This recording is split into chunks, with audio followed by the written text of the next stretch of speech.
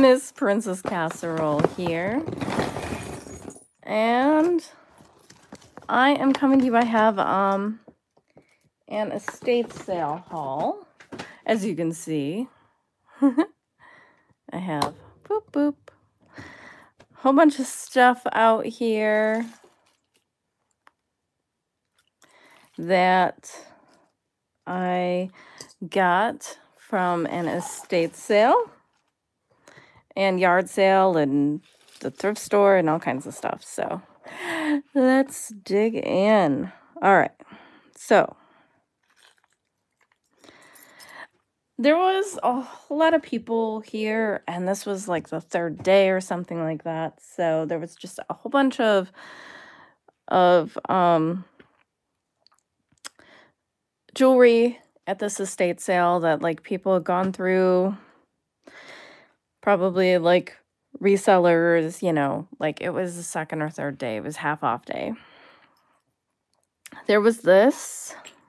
I actually already took off the um the clasp to this because I am rather certain that this is silver and that it is artisan made.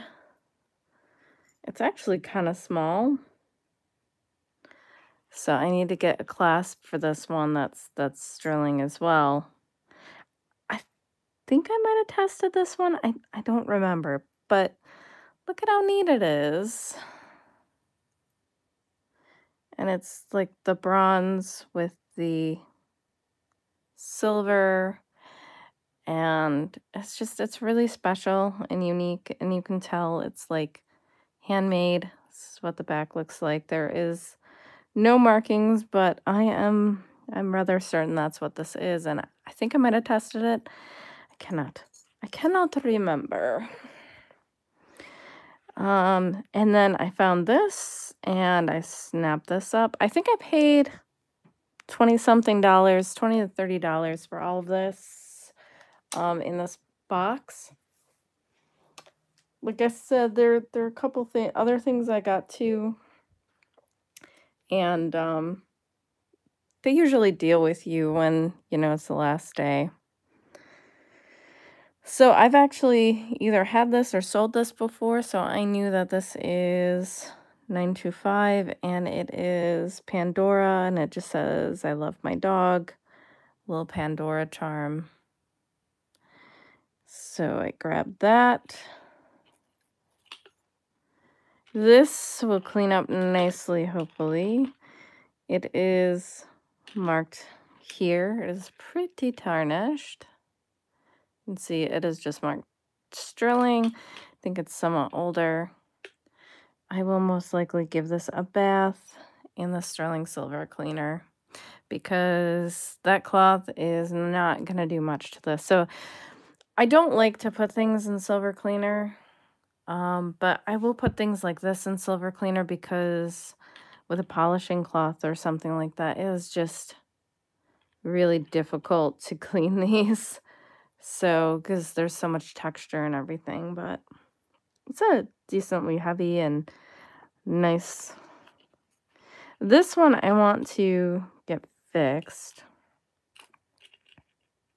It is not marked, but I'm pretty certain that it is a sterling silver vintage paper clip chain. Um, and I was thinking maybe getting a tiny silver jump ring or something, or bringing it to the jewelers and see if if it can't be fixed just because I really like these old paperclip chains. They're really nice. And they're really nice to put Art Deco or, you know, Victorian even. Even though it's not the right era, it's like a nice look on there. So, and you can tell it's older. So, you can see, boop, boop. It's not together, but even if I can just put a small jump ring on there to keep those together. I think it'll be worth it and very nice. So then boop boop. I had this one. This I don't think is marked anywhere. But I am rather certain this is sterling silver brooch. This part is not, but the other part is. Now this is cool. I grabbed this. I don't even know why. I don't think, I know I didn't see the marking until I was in my car because this is actually a James Avery piece. It's marked Avery Stir. Oh, okay. I will do that in a second. So this is an E and it is James Avery. So that's nice. All right. This is what the paperclip chain looks like. And you can see that it's older from the clasp, but that is what they look like. They're really detailed and just really neat and it it's different. So I love those. And then I have to test this one. I don't think I did, but I am pretty certain that this is also unmarked silver. That was handmade. It's got a raw amethyst in it, and it's just, it's a very beautiful cross pendant. And it's different, it's brutalist style. It is really neat. I also don't think this guy was marked, and I unfortunately couldn't find the other one. Super sad because look at how gorgeous this opal is. It's just stunning.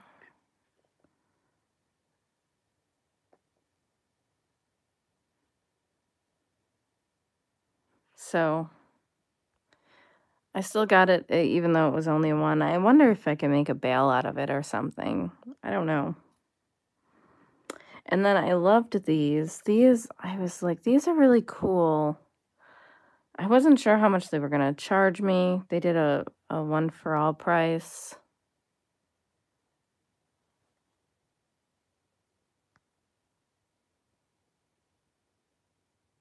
Um,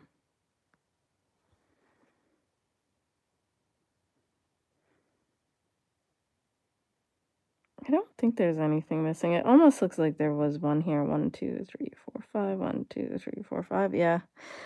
I think it's just the way that it is. And I did end up seeing this march here. Oh, I thought you, I thought you were saying, like, could you remove my husband?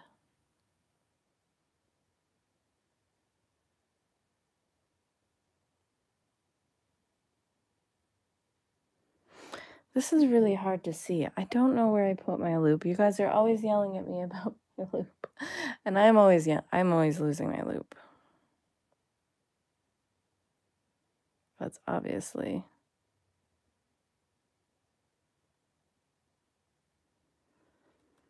I don't know. I can't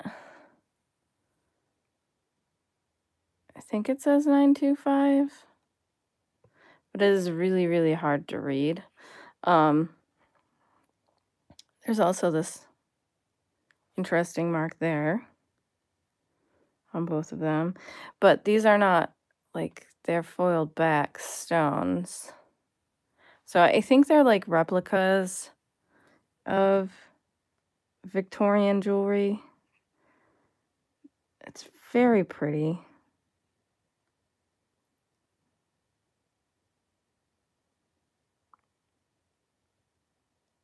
Yeah, I don't know. They're just they're different. So I really like those. So those were all from on sale. I was digging for a long time here because that's what I do. I like to dig, dig, dig. Yeah, I could probably put a little jump ring in there. Um, I'd love to get it fixed in like a more secure way or more original way, but if I have to, that's why this one makes me laugh because that was in the mall I used to work at. All right. I grabbed this one. It is unmarked. This is heavy though. Here, let's pull you in deeper. It is really well made. Open backs, which I love because sometimes, you know, the foil will come off of those other ones and, you know, then it's like you ruin the stone. So these ones are probably foiled and this one is not. But look at how it overlaps. This middle stone is in there, it's set completely in there with the other ones on top of it. It's very unique. I think this is a very nice vintage brooch. I think it's very nice quality. It's heavy. It feels designer. So that was exciting.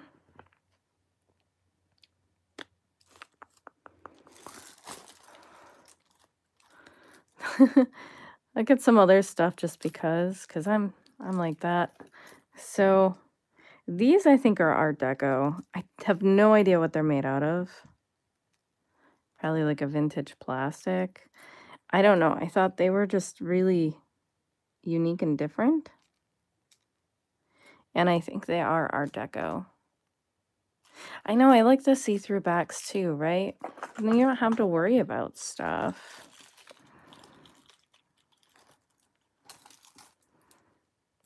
I thought this was beautiful. I've noticed people love abalone.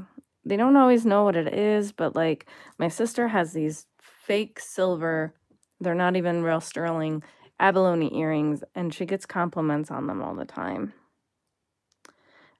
And I I can't remember what this is. Horn, I think. I think someone told me it was horn.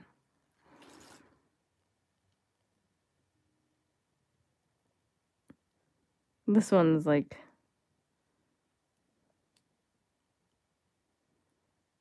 falling out there, but um you can wear it either way, honestly. Like I think this is cool with the red. And I think it's beautiful this way. So that is what this one looks like. I thought it was different and unique, and so I grabbed that one. Um, the other one was in with these, that other cross.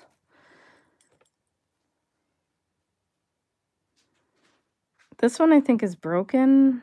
Um, it opens though, and I don't know why. And so I thought that was pretty different. And then there was this one as well. This one's more of a plain one.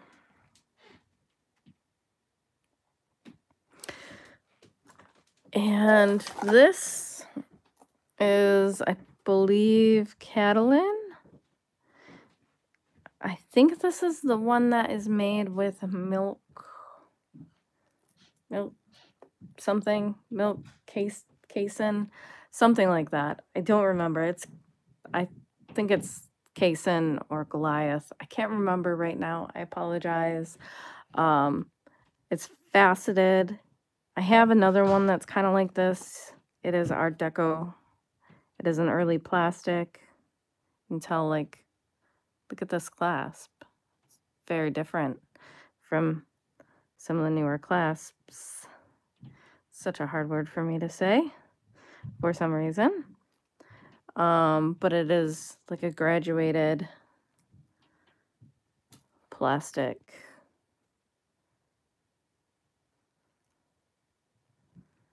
And it probably needs to be restrung. You can see he's coming out here, but it's beautiful coral color. Very unique. Hmm.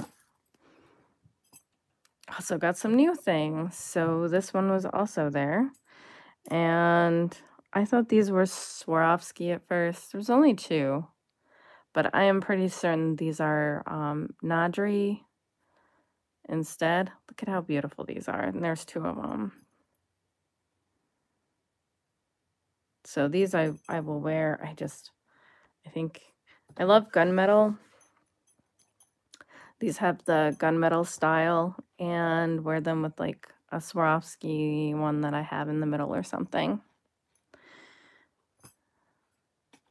Stay. Okay, you'll just go there. These I saw and I loved the shape. Very unique. And I didn't see the marking on here until later. And these are marked here, AK. So these are Klein, which I have found the vintage Klein jewelry just as nice as Monet um, in the quality. And I like these are so great. I, I absolutely love these. I have some Klein necklaces that I love too. So just beautiful. I grab this. I actually think I might do something with this with a pendant jewelry. Also this, this is Featherlight. It is, oh my goodness.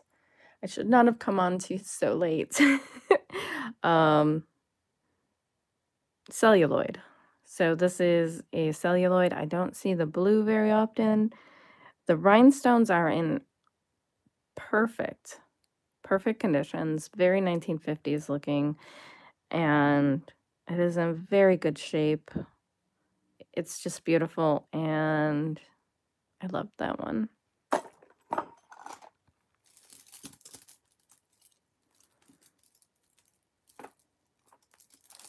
This, I, I don't love the chain. I will probably replace the chain because the chain is really faded. But somebody seemed to have made this, I think. Like, look. It's just very chaotic in a great way. And I, I love that. His nose has some issues. I think it's bronze.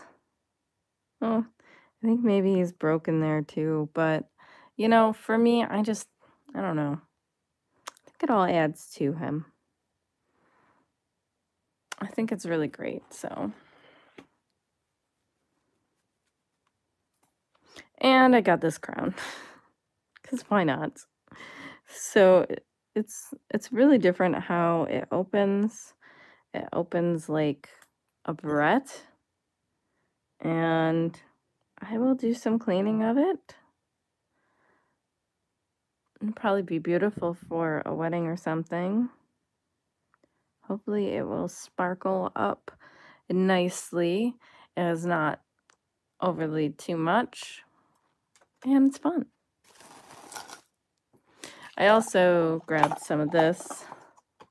She had stringing material, stringing wire, which I want to start beading again with you guys. And this is a nice, a nice um, size for that. So that's that's what we're gonna try. And then this one, I love these clasps. These are um, more the Art Deco ones. I have to put some ketchup here probably or something because there's a little faded. But these are glass meant to mimic um, the ones that are like this that are coral because I'm sure some of you guys have seen they have beautiful coral ones like this that are just kind of netted. And so this is just really stunningly beautiful. It's heavy, it's glass, it's a beautiful color, and it's just very unique. So I grabbed that one. I loved this. I don't see the blue that often, and you guys can see how stunning this color is. This also has that older style clasp. I think this is from the 1920s. Also probably needs to be restrung. It's pretty big. And it really doesn't have a lot of issues. Some of these are really chipped and damaged. And these ones don't seem to be. Look at this. Like, the color is stunning.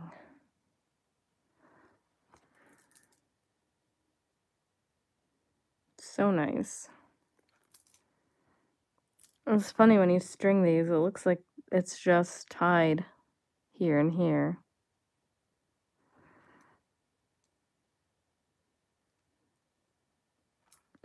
I love these vintage, like Art Deco glass necklaces. If they're the right price, I almost always pick them up.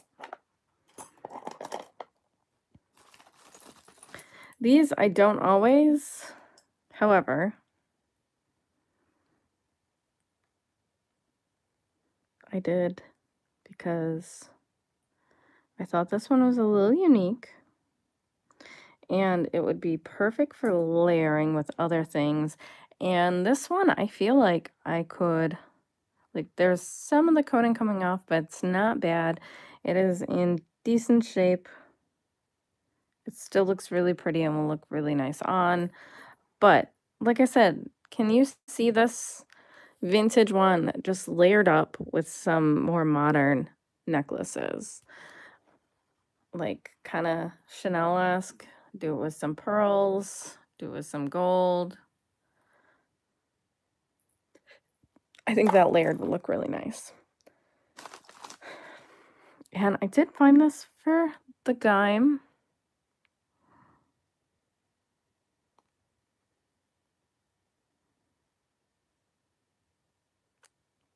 So I did manage to find him a cat pin.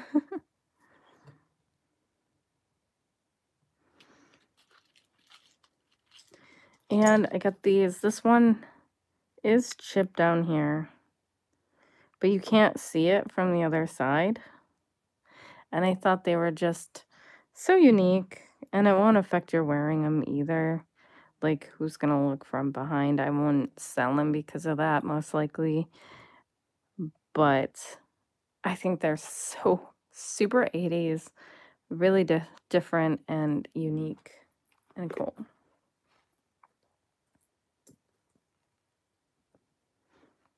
And these, I thought maybe these were ba Bakelite. I don't know. They're bronze. They definitely need to be cleaned. Very unique screwback earrings. This was, there was only one of these, so I bought this for crafting. And I, I have not heard of this maker. Have any of you guys? I just thought it was so unique that, you know, maybe I could do something with it. Susan L. Richardson. I forgot to look it up.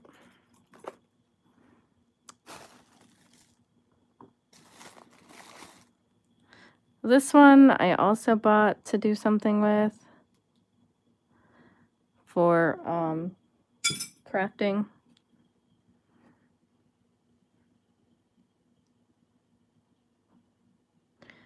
And this I used to make my stepdad buy me stuff like this at the Indian picnic. It's a little frog in here with inlaid turquoise and a little turquoise chip. strung on liquid silver. So just a small, very delicate one. And like, again, I grabbed these also to craft with.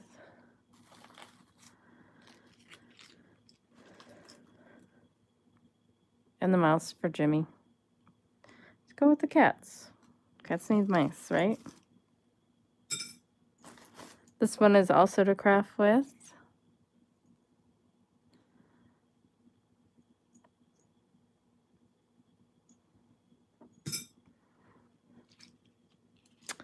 And also to craft with. Because was only one. And this one, sometimes these are unmarked. I bought this hoping it was gold, small one. Some put it aside. All right. So that was the estate sale haul. And then I have just a couple things from Savers. So this this was actually kind of expensive. It was like 11 or 12 dollars which is kind of expensive for my store, but it is from French Kande. It's funny because it says Paris, but I, I don't think they make it in, in Paris. It's actually somebody, I think from like LA that um, makes these. And it's got big potato pearls and then this crown and this It's marked on the back here too on a tassel. I had not heard of this brand. This brand is not cheap. And I like the look of it too. It's like hard and soft with the pearls. So I love that. So new designer, French Kande. I had not not seen this. I think she started out because she used to go to flea markets in France and grabbed coins and things like that and started making jewelry out of them. And then just it grew, and now she designs her own jewelry, which is nice. Get this one for 99 cents.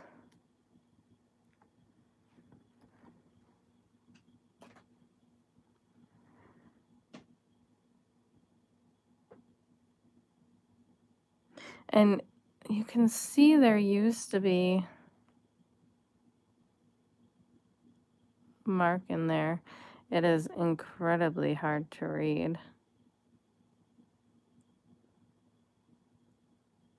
835 maybe um and these are garnets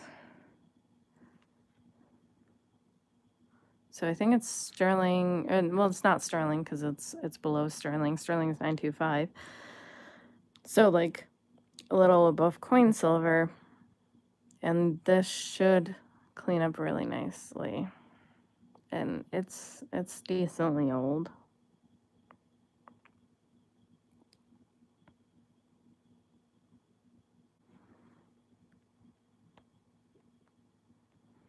So I love that.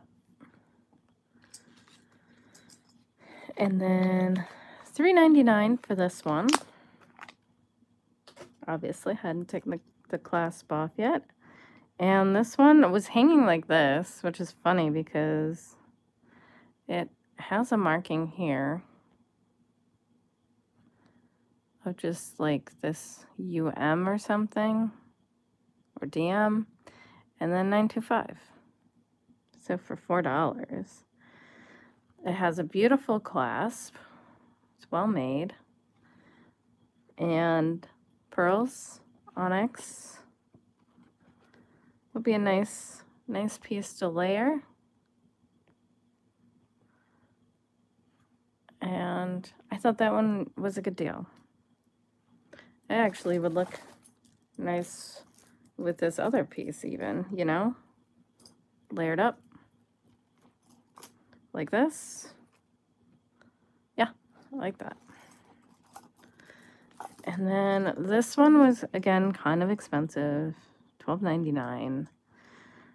I'm actually kind of surprised that they saw the marking in here. The marking is inside there. You can see it, 925. And it is this crazy piece of amber. Like, you can see through it there. I love the shape of it. It's very organic. It's huge. I'll show you in my hand. It's really big.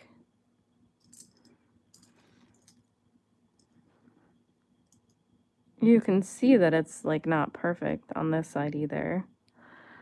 Like it's not flush. It's just a really different piece of amber.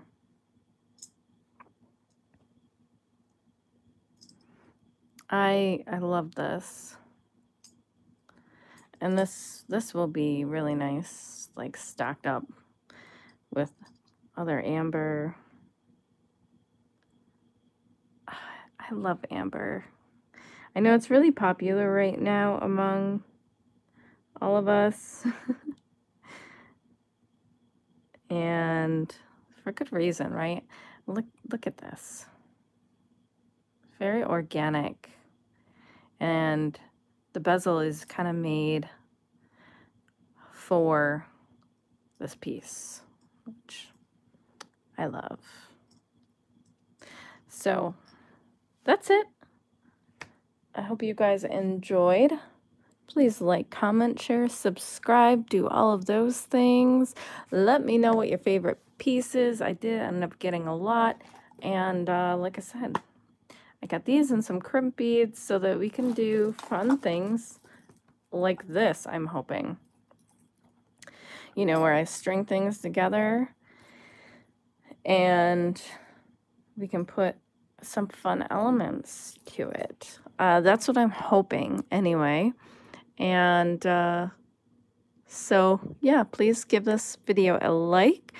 And I have way more things to show you guys in my next videos. So I will see you guys then.